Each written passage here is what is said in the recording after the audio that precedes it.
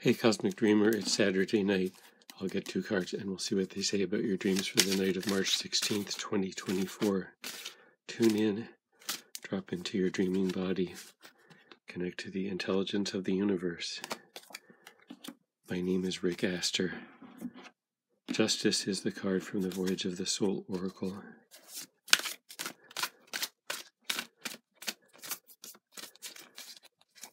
You may have a dream about something coming to a resolution, an imbalance being answered. From the Light Seer's Tarot, the card is the Ace of Pentacles in reverse. So maybe you're you were tr- tricked into maybe you were tricked into pursuing something that uh, wasn't meant to turn out well for you, and that's what's going to be remedied. That's what this uh, dream is going to look at.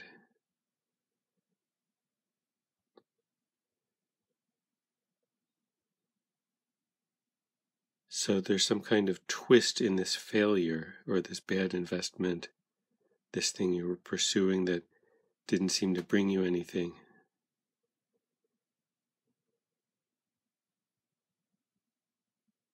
And I'm not just talking about the wisdom of knowing not to do that again, but some greater insight or some kind of reward.